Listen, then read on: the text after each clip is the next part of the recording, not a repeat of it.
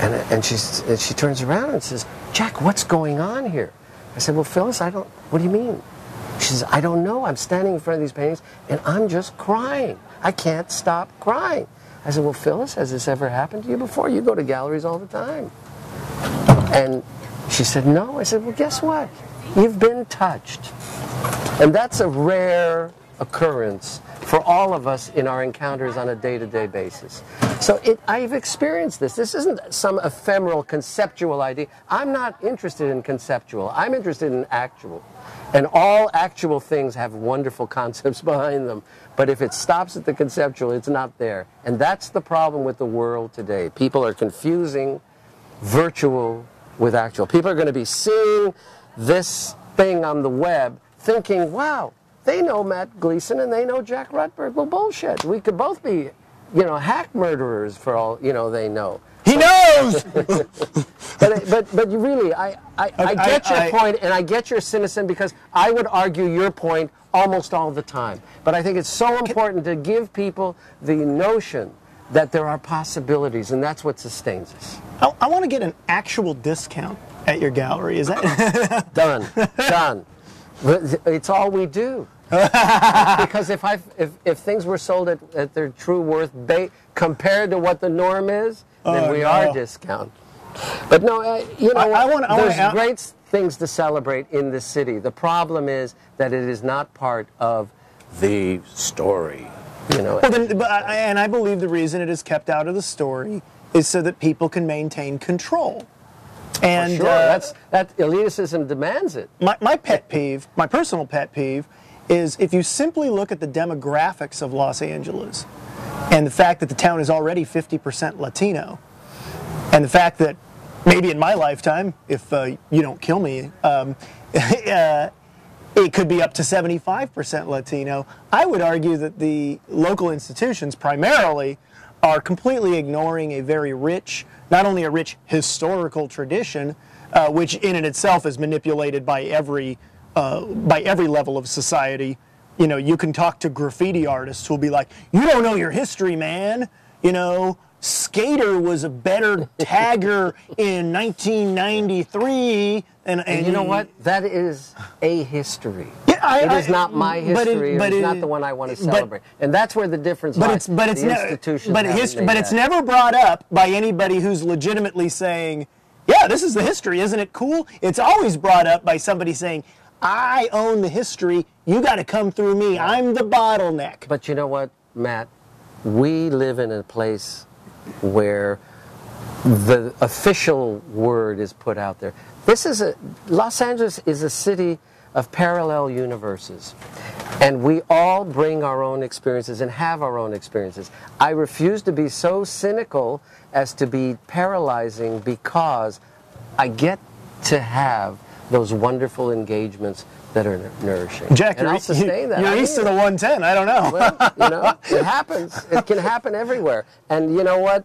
This notion of the shiny trophy, pedestal placed artist is nonsense. As you know, you listen. You've met artists. You know they're they're in there. It's grunt work. They are left between them and that canvas or whatever the medium is. They are having a very private dialogue. The fact that it's private and the fact that they're bleeding doesn't make it art. Out of all those thousands and thousands and thousands of picture makers, there will always be a few artists. That's it's always been that way. Today you can market anything so everyone gets equal play. And it's just bullshit. It, it, it, there really, uh, it has always been the world of a very, very, very few.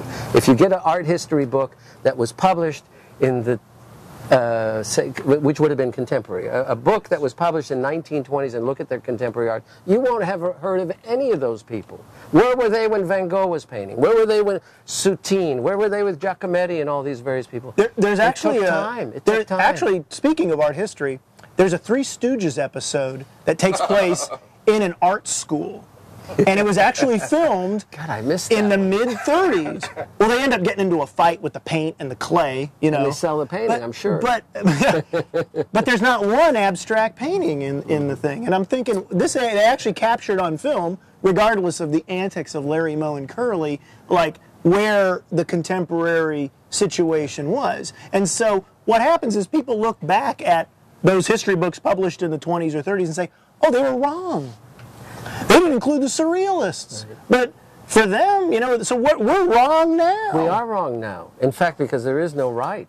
There, we are wrong. There is no, art is everything, and there's nobody. Postmodernism. No, I, I, I actually am, am No quite central not a truth. fan of it at all. No, but you just articulated no, no, it. but I, I, th- that's my argument. I mean, I'm, I'm fighting against that. Oh. But, but look, there is a. I can give you. I, no one has ever charted this out for me, and I've come to a, an understanding in my own mind, accurate or otherwise. I can kind of trace why LA is in this kind of insipid realm and how the contemporary art world followed.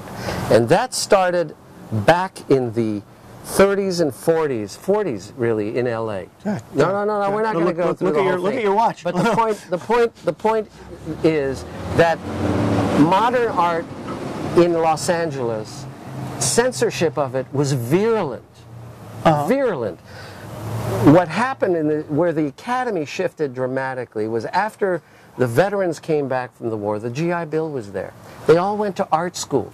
There was an environment where you could not teach abstraction. It was censored. Artists were literally, there were hearings here at City Hall where artists were accused of being communists because their abstract paintings were, in quotes, secret military installation maps and they were tools of the Kremlin. This was the environment. So when artists came out of those art schools after the war and then into the 60s, they were looking for something new. They had nothing here with tooth. They, they looked east, that shiny thing, and pop art. That was easy. Pop and, and this cooler sensibility because you know what? There was no content. It was easy. It wasn't going to ruffle any feathers. It wasn't going to deal with all that censorship. So you're talking about we are suffering the fate today in this very, I, I really shorthanded this, but we are suffering the fate today of some 30, 40, 50 years really, really 50 years of a kind of censorship which has introduced a generation of academicians that haven't got a clue what a painting is. But they were communists! Those sons of bitches should have been artists in their ankles and beaten with sticks! It's probably a great place to end this. but, but you know, Nathan, I mean, uh, uh, listen, three, What? three minutes.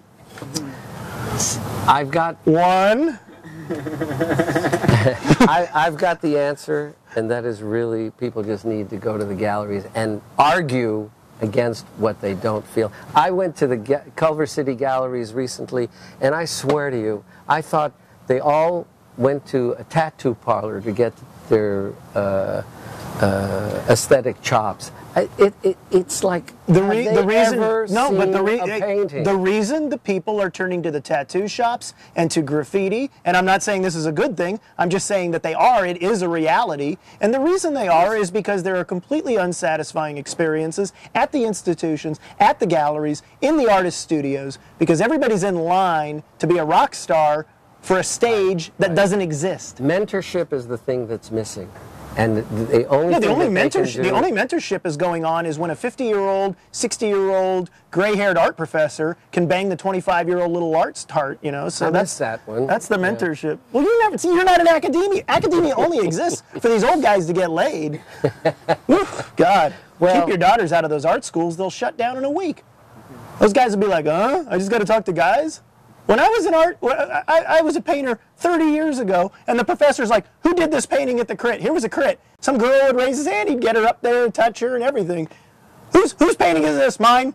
Keep working hard. Next, he's looking to touch the girls. Ugh. I guess I was lucky to actually be inspired by some real artists and paintings as opposed to And those kinds of activities. Better, rather than be inspired, I have been enraged, and I feel that the fuel for that fire has allowed the LA art world to glow much more brilliantly than one person patting me on the head and saying, good job. Well, it's your time to celebrate some substance when you find it.